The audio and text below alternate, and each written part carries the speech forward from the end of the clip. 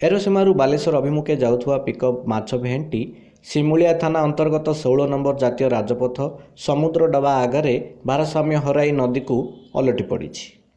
ଘଟଣାସ୍ଥଳରେ ଡ୍ରାଇଭର ଓ ହେଲ୍ପରର ସାମାନ୍ୟ କ୍ଷତ ହୋଇଥିବାର ଜଣାପଡ଼ିଛି।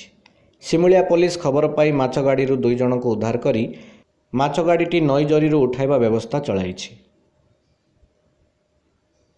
ବାଲେଶ୍ୱର ଜିଲ୍ଲା ସିମୁଳିଆରୁ ସାବିତ୍ରୀ ବାରିକଙ୍କ ରିପୋର୍ଟ। ଉତ୍କଳ ଖବର।